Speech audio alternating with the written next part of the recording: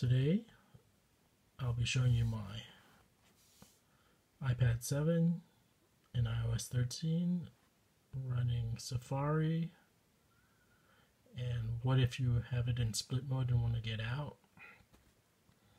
So here's Safari and let's say I have it in split mode. It can happen randomly. I think you slide, I don't know. It happened to me once and I don't really use split mode. You can press and hold a link and click open a new window. Instead of opening a new window, it puts into split mode, split screen mode. Okay, so now it's in split screen mode. So you would think, okay, to get rid of it, all I have to do is like press that thing and maybe close it. Nope, that just opens another tab. Or maybe I can just double click and then kill Safari so I'm going to try to kill Safari. Go back to Safari. No, it keeps on bringing back the, the split screen Safari. keep on trying to do that. So sorry for being long-winded. Sorry, a minute.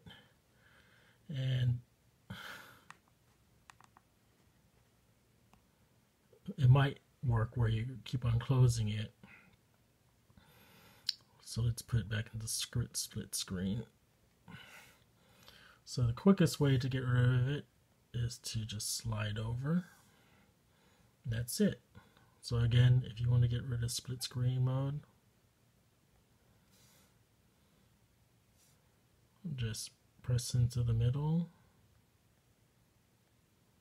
Sometimes it's tricky, like this. And slide to the right, and that gets rid of split screen mode. And again, you can try can try.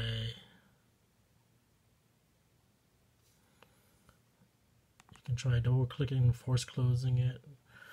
Uh, in another video I'll be talking about opening a bunch of new windows and you can see uh, Safari actually opens up unnecessary windows and this is actually very confusing. They started doing it with the whole I'm going to use my iPad as a laptop replacement so now we have new windows for Safari. But as I mentioned before, let's say you have a split screen like this, you could try to double click and close it like that by swiping and then open Safari. That didn't work.